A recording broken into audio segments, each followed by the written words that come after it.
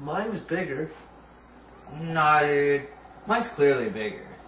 Only if you include the tip, man. Alright, I have a way we could sell this. How about we form a suicide pact? Oh my gosh, let's do it. Alright, I put poison in both of our cups. Drink up. Um, are you sure we should do this, dude? Yeah, of course. Quit being a fucking pussy.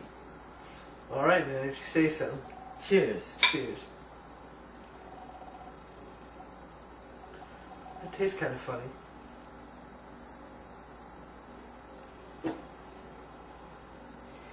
Yeah. Told you mine was bigger.